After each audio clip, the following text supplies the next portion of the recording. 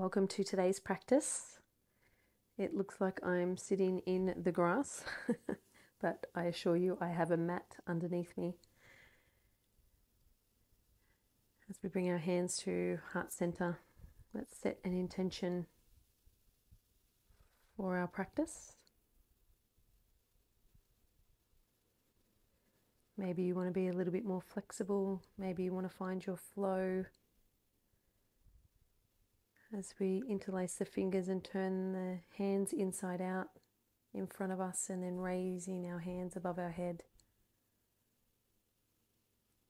And leaning over to the right, breathing in, exhaling over to the left, back to center, releasing the fingers and taking the right hand to the left knee, left hand behind the bottom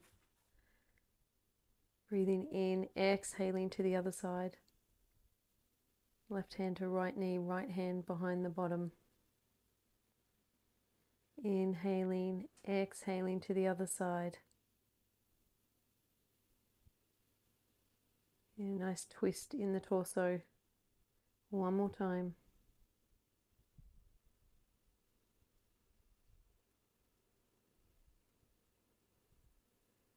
And back to center.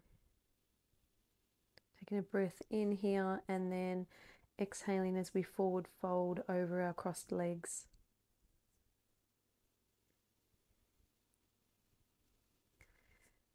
This practice today is all about releasing tension. Tension in our muscles, tension in our mind as we slowly come back up to the seated position and cross the legs in the other way. And then inhaling and exhaling as we lower down towards the ground. Pushing ourselves back up with our hands now. We're going to keep the left leg tucked into our pelvis, the right leg bends behind us, and we're just going to lean back and open our heart towards the sky. You can stay on your hands here, or if you have a little bit more flexibility, in the thighs, then you can come down onto your forearms. And if you have more flexibility still, you can go all the way down onto your back. Inhaling as we come back up, tucking the right foot into the pelvis. The left knee bends with the foot behind us, opening the chest towards the sky, dropping the head back coming down onto the forearms if your body allows it. Getting a nice stretch through the thigh, the front of the leg, as well as the back.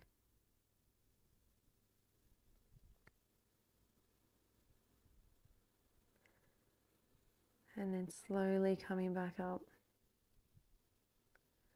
coming into tabletop position on all fours. Going to run through three cat cows, taking our gaze high towards the sky, dropping our stomach towards the mat, and then curling our spine in the opposite direction as we come into cat pose. Making sure elbows are under wrists. Taking our gaze between our leg. And then on the last one, maybe sticking the tongue out, making some noise on the last cow, and then curling through for cat pose. Taking the arms long now, forehead towards the mat, chest towards the mat, hips are high.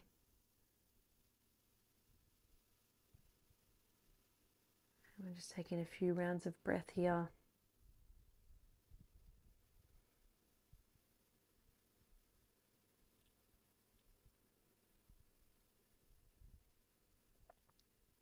Coming back up to neutral spine. Tucking the toes into downward facing dog. Pushing the heels towards the mat, legs are straight, hips are high, and our head is hanging heavy between our arms. Taking our left foot between our hands, coming up into warrior one. Arms going high, fingers are spread wide. Maybe putting a slight bend as we come into warrior two. Flipping the front palm, reverse warrior.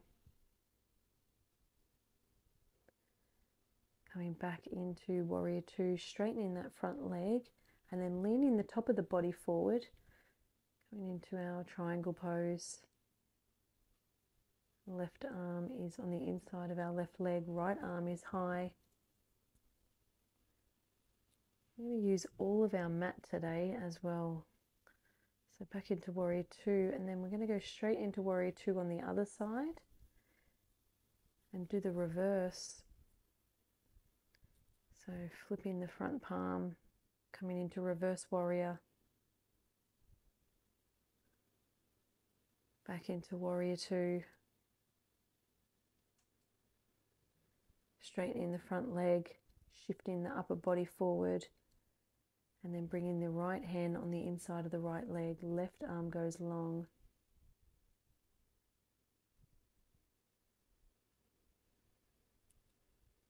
Back into warrior two. And then turning the back foot so we come into warrior one.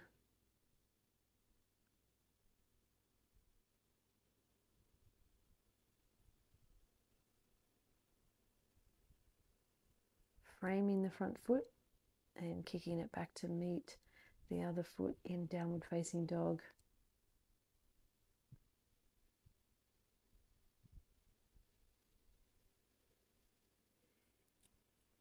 Dropping to our knees now. I'm going to run through three more cat cows. Really curving the spine, taking our gaze between the legs and then gaze goes towards the sky as our chest and belly go towards the mat.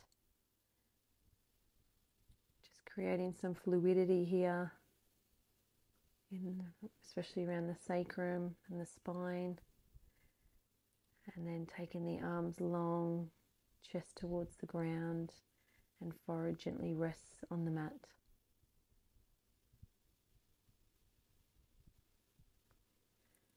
This is a beautiful pose for the shoulders and for the thoracic.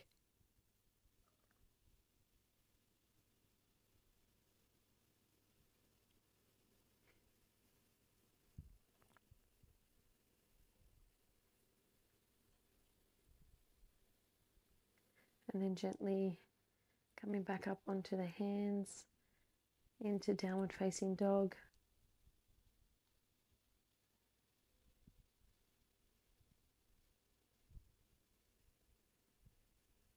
Taking the left foot between the hands, coming up into warrior one as we run through this sequence again. Slight back bend. Turning the back foot, coming into warrior two. Flipping the front palm, reverse warrior.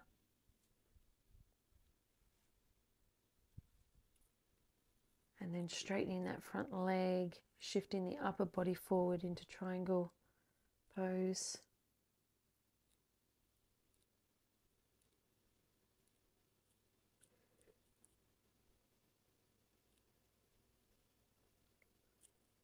Back into warrior two. And then we're going to shift over to the other side, straight into warrior two. Flipping the front palm, bringing it up and over.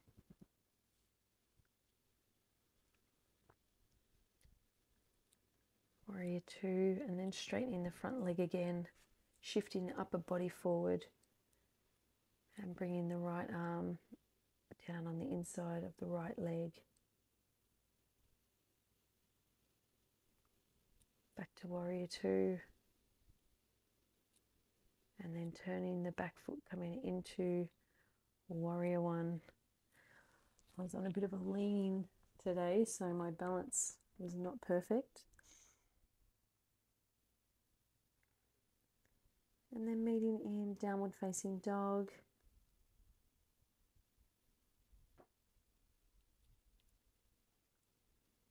Pedaling out the legs, maybe shooing a few ants away that were biting me. and And then walking the feet up between the hands, dropping heavy onto our thighs, maybe holding the elbows. Hands back to the mat, coming up for halfway lift, forward fold, swan dive the arms up and over the head, bringing them down to heart center. So we come into Tadasana here. So grounding down through the connection points in the feet, switching on the thighs, the glutes, the abs, the arms. And then taking the arms high as we come into chair pose. Dropping the hips backwards. Slowly standing. And then inhaling. So we take our hands high again. And then exhaling as we take our hands either side, getting rid of any tension, stress, negative energy, anything that's been stored that no longer serves us. This is your opportunity to put it all behind you, get rid of it. Standing tall again, coming down one more time, and then raising the left foot. So we go into one legged chair and then raising the right foot, really engaging the core here, testing our balance.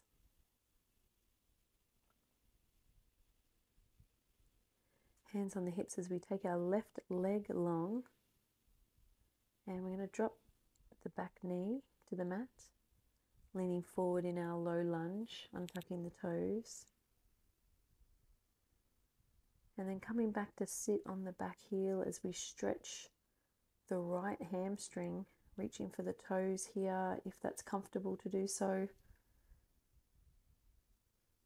Coming back into the low lunge. And then our left hand is going to grab our left foot as we stretch the thigh on our left leg. Just gently resting the right hand on the right leg and pulling the left foot towards the bottom.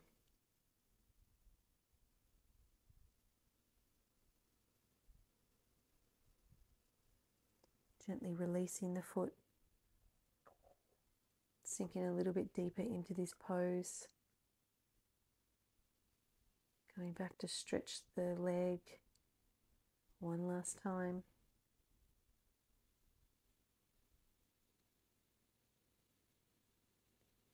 And then shifting into a side lunge, a low side lunge, over to the other side. Really feeling a beautiful stretch on the insides of the legs. And then changing into a low lunge on the other side. I told you we were going to use a lot of the mat today. And then coming back to sit on the back heel. Left leg is long this time, reaching for the toes.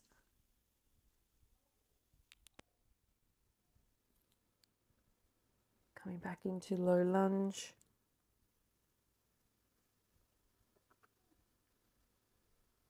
And then grabbing the right foot with the right hand.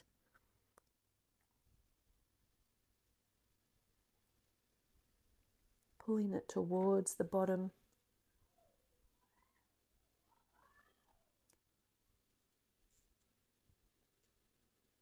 And then gently releasing the foot back to the earth sinking the hips a little bit deeper towards the mat and then sitting down on the back heel as we stretch our left leg.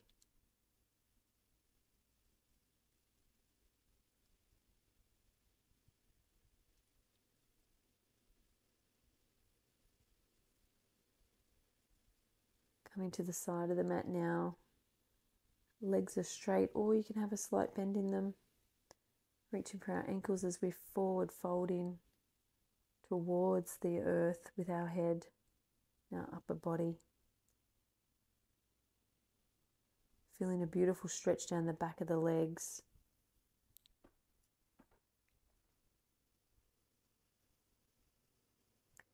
Hands on our hips as we slowly come to a standing position. And then breathing in as we drop down into goddess pose. Hands are in prayer position above our head, or you can bring them out to the side into connecting the middle finger and thumb.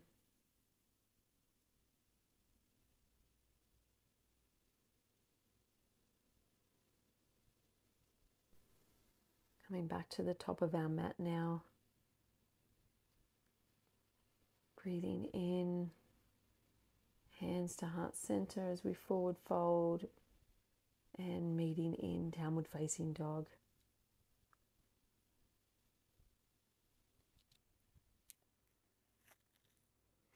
Body should be feeling nice and warm now as we take our right leg high, bringing the knee towards the nose, taking the right leg back again knee towards the nose one more time.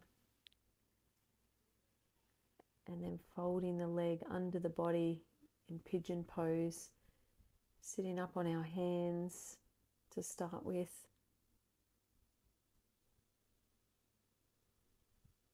And then breathing in as we take our hands high above our head in this seated pigeon pose Maybe interlacing the hands behind the back, opening the heart towards the sky, dropping the head back.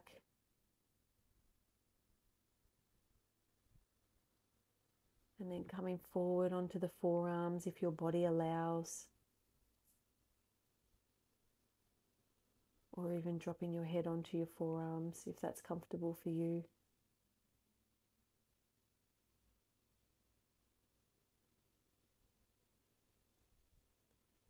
Then tucking the toes, coming back into downward facing dog. And do the other side now. So taking the left leg high and then bringing the knee to nose. Kicking it back two more times. And on the third time, tucking the left leg underneath the body in pigeon pose. Sitting tall to start with on our hands. And then breathing in as we take our arms high above our head. Or maybe putting a bit more of a back bend in there. Interlacing the hands behind the back, opening the chest towards the, the sky. Coming back onto our hands or our forearms.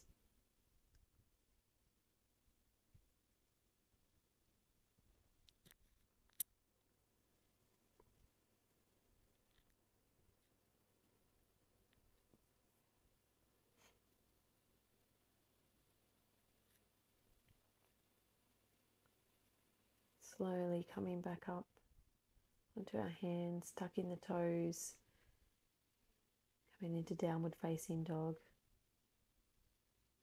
Drop into our knees now as we come onto our bottom. We go into boat pose here. So sitting in a V shape. And we're just going to do a few toe taps Alternating legs, making sure our core is engaged. And then slowly lowering down onto our back.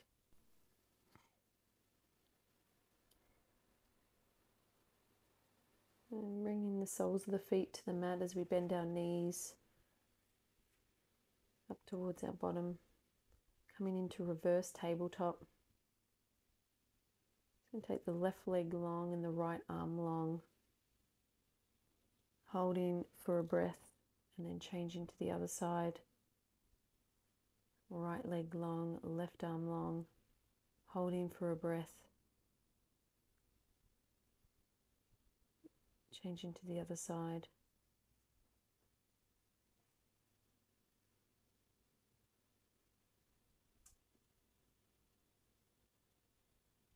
slow and controlled.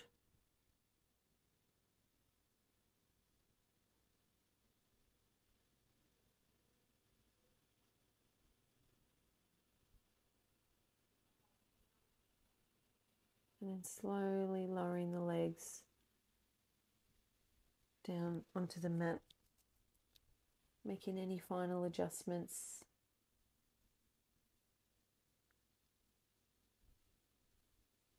Getting rid of any last minute twitches as we allow ourselves the next three to four minutes to really switch off and sink deeper and deeper into relaxation.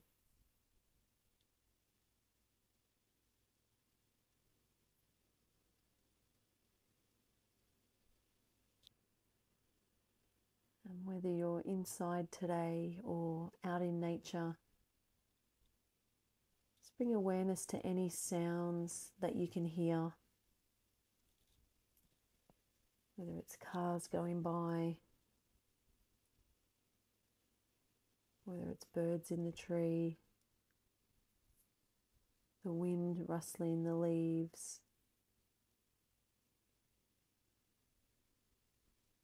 Maybe it's your breath. Just really having awareness for the noises that are going on around us as we melt deeper and deeper into relaxation.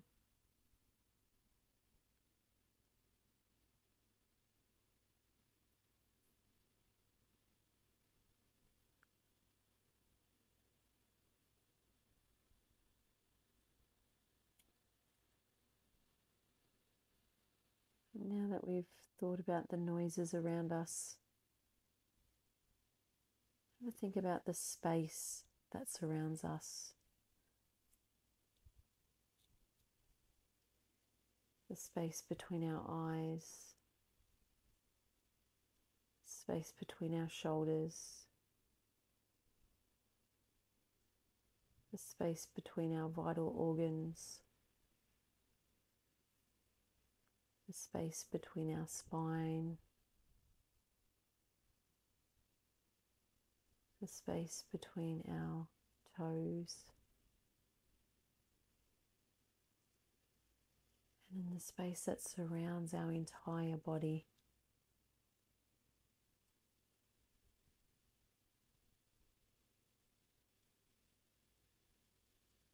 Just think of the energy that runs through that space.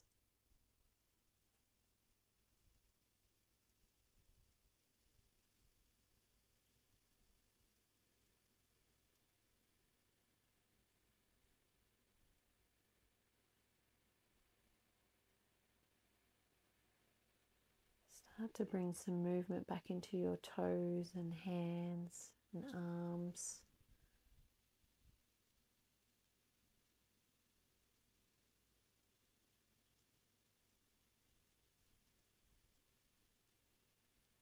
Today's practice was all about releasing tension, as I mentioned, but also regaining power with some of the power poses. So just really honor yourself right now for allowing your body to do what it needs to do in order to release tension and regain power as we bring our hands to our third eye. May we have kind and loving thoughts today as we lower them to our lips. May we speak kind and loving words today as we lower them to our heart space. May we have kind and loving intentions today as we move about our day. Namaste.